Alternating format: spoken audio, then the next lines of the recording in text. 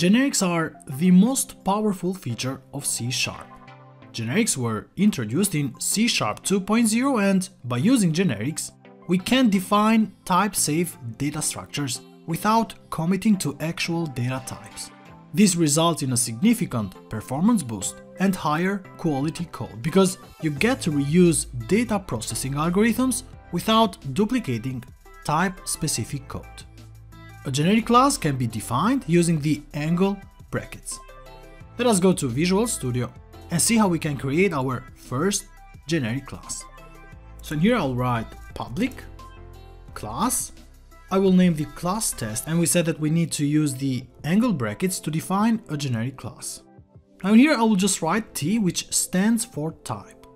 Because we said that in a generic class we don't need to define the type because you define the type when you initialize an object using the generic classes. Then inside here, let us define a property. So for that we write prop, we define the type to be t.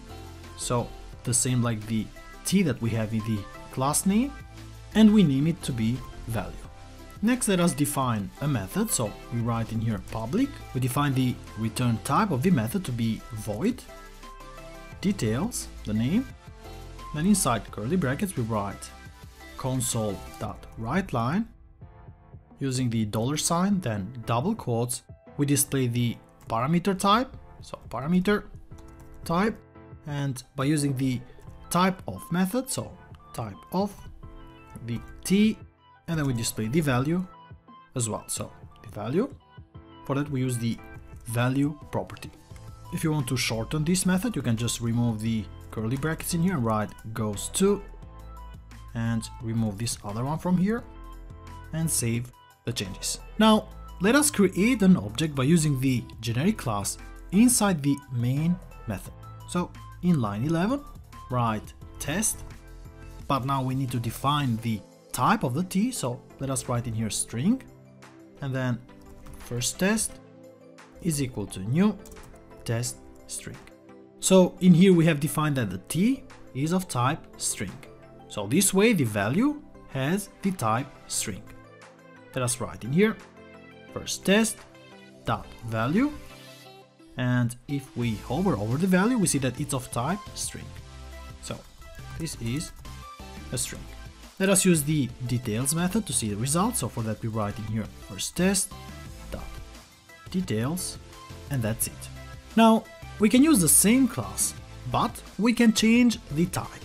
So let us write in here test and this time let us define the t to be of type integer. Second test is equal to new and we see that now integer is the type of t. So if I write in here second test dot value and we hover over the value, it is of type integer. So the t has integer type now because we define the t in here to be integer. This is equal to 5. Let us use the same method over the second test object, so second test dot details.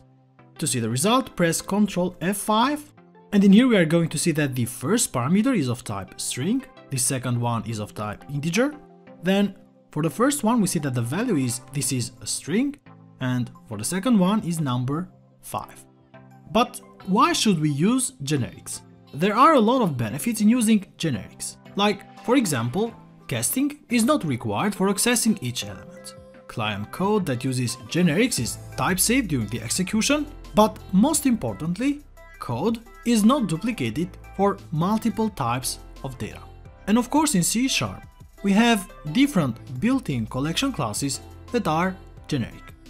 So for example, one of them is the list class. If we go to our Visual Studio and we write in here list. So we see that we need to define a t in here, which stands for the type of the element. So let us write in here string.